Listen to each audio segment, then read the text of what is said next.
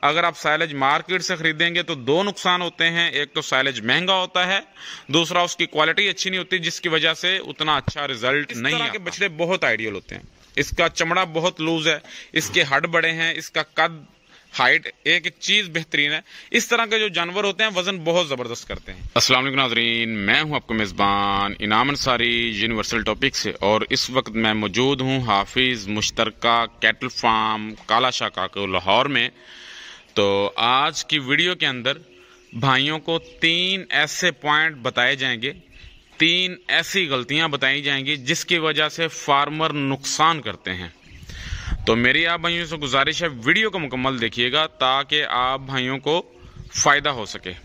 جو تین غلطیاں فارمر کرتے ہیں، ان میں کون سی وہ کون سی غلطیاں ہیں؟ سر فرست جو سب سے پہلی غلطی ہے کہ جو بھائی اس فیلڈ میں نئے آتے ہیں وہ آتے ساتھ مہنگی پرچیزنگ کرتے ہیں اور پرچیزنگ غلط کرتے ہیں۔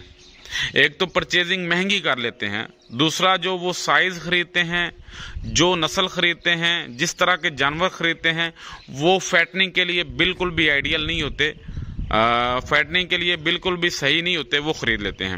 تو یہ خریداری میں ہی دو غلطیاں ہو جاتی ہیں۔ مہنگی بھی ہو جاتی ہے خریداری اور آئیڈیل بچڑے بھی نہیں ہوتے۔ تو سب سے پہلے تو جو فارمر بھی فارمنگ کرنا چاہے تو اس کو دیکھنا چاہیے، مجھے کس ریٹ پر جانور خریدنے چاہیے اور کس طرح کی مجھے خریداری کرنی چاہیے۔ یہ دونوں چیزوں پہ پہلے سٹڈی کرنی چاہیے فارمر سے سیکھنا چاہیے۔ ہماری ویڈیوز میں بھی کئی دفعہ بتایا گیا ہے، اس کے بعد خریداری کرنی چاہیے۔ اس کے بعد دوسری جو غلطی ہوتی ہے، وہ یہ ہوتی ہے کہ جی فارمر بھائیوں کا ذہن ہوتا ہے کہ ہم سٹارٹ لے رہے ہیں، ابھی ہم جو ہے خوراک اپنے نہیں بناتے، ونڈا اپنا نہیں بناتے، سائلج اپنا نہیں بناتے، ایک دفعہ مارکیٹ سے خرید لیتے ہیں۔ تو یہ سب سے بڑی دوسری غلطی ہوتی ہے۔ جب آپ اپنا سائلج نہیں بنائیں گے، آپ مارکیٹ سے نہیں خریدیں گے، مارکیٹ سے خریدیں گے، تو آپ نقصان کریں گے۔ کیسے نقصان کریں گے؟ اگر آپ اپنا سائلج بنائیں گے، تو سائلج آپ کو پانچ روپے، میکسیمم چھ روپے فی کلو پڑے گا۔ اور اس کی کوالٹی جو ہوگی وہ اے ون ہوگی، اچھی کوالٹی ہوگی۔ اگر آپ سائلج بازار سے لیں گے تو اس کا جو ریٹ ہوگا تیرہ سے چودہ روپے کلو ہوگا اور اس کی جو کوالٹی ہوگی وہ بھی اچھی نہیں ہوگی۔ تو دو فائدے ہو جاتے ہیں اپنا سائلج بنانے کے۔ ایک تو خری، آپ کا جو ریٹ ہے وہ کم ہو جاتا ہے اور دوسرا آپ کو سائلج اچھا مل جاتا ہے۔ اسی طرح اگر آپ سائلج مارکیٹ سے خریدیں گے تو دو نقصان ہوتے ہیں، ایک تو سائلج مہنگا ہوتا ہے، دوسرا اس کی کوالٹی اچھی نہیں ہوتی، جس کی وجہ سے اتنا اچھا ریزلٹ نہیں آتا۔ یہ میں دوسرا پوائنٹ آپ کو بتا چکا ہوں. میں آپ کو مختصر بتا رہا ہوں تاکہ میں اپنے تین پوائنٹ اس ویڈیو کے اندر آپ کو بتاؤں، آپ کو فائدہ ہو سکے. اور یہ جو پوائنٹ میں بتا رہا ہوں، ان پہ بڑی ہی ڈیٹیل کے ساتھ، بڑی ہی تفصیل کے ساتھ ویڈیوز بنی ہوئی ہیں. دوسرا یہ ہے کہ لوگ ونڈا بھی بازار سے خریدتے ہیں. کوشش کریں کہ ونڈا بھی اپنا بنائیں. ایک تو وہ آپ کو سستا پڑے گا. اگر سستا نہ بھی پڑے، تو وہ آپ کو جو ہے اس کا رزلٹ اچھا ملے گا.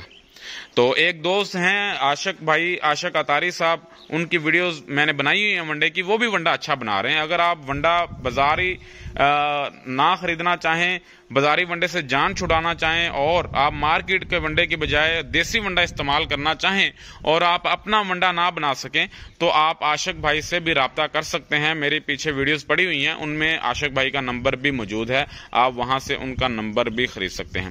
تو میں آپ کو تھوڑا سا یہ بتاتا چلوں بچڑا جو خریدنا چاہیے، یہ آپ کو نظر آ رہا ہوگا، چولستانی بچڑا اس کی سکن دیکھیں لوز ہے، اس کی ناو جھالر دیکھیں، اس کا سائز دیکھیں، اس کی ہڈیوں کا سائز دیکھیں، ایک ایک چیز بہترین ہے۔ اور تیسری جو غلطی فارمر بھائی کرتے ہیں، وہ یہ کرتے ہیں کہ جب جانور خرید کر اپنے فارم پر لے آتے ہیں، تو وہ خوراک کو مینٹین نہیں کرتے۔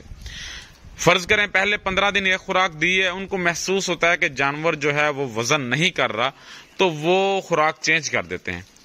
حالانکہ جانور نئے ماحول میں آیا ہوتا ہے، منڈیوں سے آیا ہوتا ہے، پیچھے فارم سے آیا ہوتا ہے یا گھروں سے آیا ہوتا ہے تو جب جانور تھکا ہوا نئے فارم پہ آتا ہے تو اس کو نئی جگہ پہ ایڈجسٹ ہوتے ٹائم لگے گا۔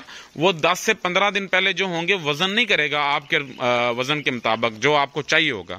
تو آپ خوراک ایک ہی دفعہ سوچ سمجھ کر استعمال کریں، پہلے اچھی طرح تحقیق کر لیا کریں۔ جب آپ ایک خوراک شروع کر دیں، پھر اس کو بار بار چینج نہ کیا کریں۔ تو میں سمجھتا ہوں اگر آپ ان تین غلطیوں پہ کنٹرول کر لیں گے تو کافی حد تک آپ کی جو ہے فارمنگ بہتر ہو جائے گی۔ اس کے علاوہ آپ کی صفائی وغیرہ بھی اچھی ہونی چاہیے، جانوروں کے نیچے آپ کی مینجمنٹ اچھی ہونی چاہیے تاکہ آپ کو فائدہ ہو سکے۔ تو یہ جو بچڑے آپ بھائیوں کو اس ویڈیو میں نظر آ رہے ہیں، یہ سارے الحمدللہ حافظ مشترکہ کیٹل فارم کی ٹیم کے بچڑے ہیں۔ اس کے اندر ایک کثیر تعداد اوورسیز پاکستانیوں کی ہے اور پاکستانی اس میں انویسٹمنٹ کر چکے ہیں۔ تو ہمارا ٹارگٹ ہے تین سو بچڑا کمپلیٹ کیا جائے۔ جو کہ دو سو بچڑا تقریباً ہمارا کمپلیٹ ہو چکا ہے۔ تو سو بچڑا رہ گیا ہے، ہماری خریداری ہو گئی ہے اور ہو بھی رہی ہے۔ تو جو بھائی حافظ مشترکہ کیٹل فارم کے ساتھ انویسٹمنٹ کرنا چاہتے ہیں گھر بیٹھے منافع کمانا چاہتے ہیں، وہ میرے ساتھ رابطہ کر سکتے ہیں۔ ہماری ٹیم انشاءاللہ آپ کی امیدوں پر پورا اترے گی اور آپ کو گھر بیٹھے آپ کے لیے بھی اور اپنے لیے بھی رزق حلال تلاش کرے گی اور آپ کو ایک اچھا منافع دے گی اور آپ کو انشاءاللہ مایوسی نہیں ہوگی۔ یہ فلوگ جو ہے جی ہمارا قربانی تک چلے گا۔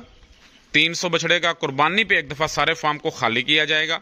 تاکہ حساب کیا جا سکے اور قربانی کے بعد حساب کیا جائے گا، جتنا منافع آئے گا۔ اس منافع کے ہم تین حصے کریں گے۔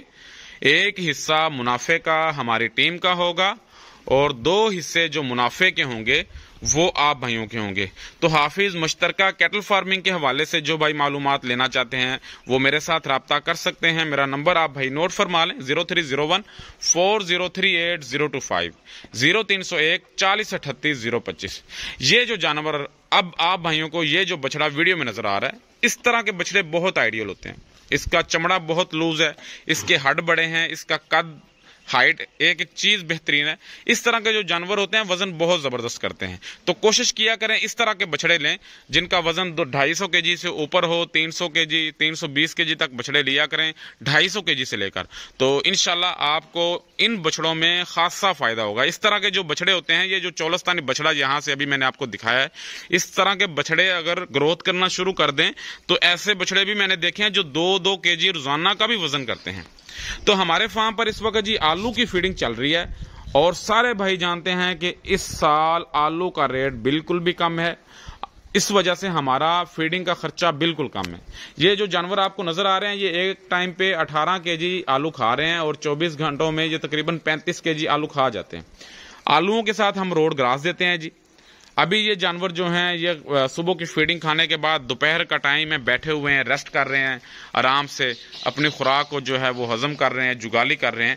تو شام کو ان کو دوبارہ پھر آلو کی خوراک دی جائے گی۔ تو بعد میں یہ کر رہا تھا کہ اس دفعہ انشاءاللہ ہمیں امید ہے کہ ہمارا جو ٹارگٹ ہے منافع کا، وہ پہلے سے بھی زیادہ ہوگا۔ ہمیں اس دفعہ منافع پہلے سے بھی انشاءاللہ زیادہ آئے گا۔ اس کی وجہ یہ ہے کہ ہمارا خرچہ کم ہے۔ ساری چیزوں کے ریٹ بڑھ گئے ہیں بچڑوں کے ریٹ بڑھ گئے۔ جو فیڈنگ ہے ونڈا ہے، توڑی ہے سائلج ہے، سب چیزوں کے ریٹ بڑھ گئے اور فارمر کا خرچہ جو ہے وہ بڑھ گیا۔ روزانہ کی بنیاد پر خرچہ جو وہ ایک بچڑے پہ کرتا ہے۔ لیکن الحمدللہ آلو کا ریٹ کم ہو گیا ہے اور ہماری جو خوراک ہے وہ ہوتی ہی آلو ہے۔ اور اس وجہ سے ہمارا خرچہ پر ڈے کا، فی بچڑے کا پہلے سے کم ہو گیا ہے۔ جہاں پہ پہلے تین سو ہوتا تھا، وہاں پہ اب دو سو ہو رہا ہے۔ یعنی کہ تیسرا حصہ خوراک کا خرچہ کم ہے۔ تو اس وجہ سے انشاءاللہ اس سال ہمیں امید ہے کہ ہم زیادہ منافع اکٹھا کریں گے اور زیادہ منافع ہمیں آئے گا۔ تو جو بھائی بھی انویسٹمنٹ کرنا چاہتے ہیں، وہ جلد از جلد رابطہ کریں تاکہ ہماری ٹیم جلد از جلد اپنا ٹارگٹ پورا کرے۔ اور یہ جو آلو کا سیزن لگا ہوا ہے، آلو ہمیں کم ریٹ پر مل رہا ہے، اس سے زیادہ سے زیادہ فائدہ اٹھایا جا سکے۔ تو یہ جی ہمارے فارم کا ویو ہے، یہاں پر پانچ شیڈ ہیں۔ یہ تین ایکڑ پر محیط ہے اور ہر شیڈ کے اندر ہم نے بچڑے کھڑے کیے ہوئے ہیں۔ اور انشاءاللہ قربانی کے بعد جب ہم فلوک ڈالیں گے تو پھر ہمارا ٹارگٹ ہوگا یہاں پر تین سو کی بجائے چھ سو بچڑا ڈالا جائے۔ تو میں امید کرتا ہوں جی آج کی ویڈیو کے اندر جو تین پوائنٹ آپ بھائیوں کو بتائے گئے ہیں، جو بھائی غلطی کرتے ہیں، ان کو مد نظر رکھیں گے اور ان کو اپلائی کریں گے اور ان کو اپلائی کرتے ہوئے اپنے آپ کو، اپنے فارم کو نقصان سے بچائیں گے۔ تو آج کے لیے اتنا ہی، اپنے میزبان انعام انصاری کو دیجیے گا اجازت۔ بہت ساری دعاؤں میں یاد رکھیے گا۔ اللہ نگبان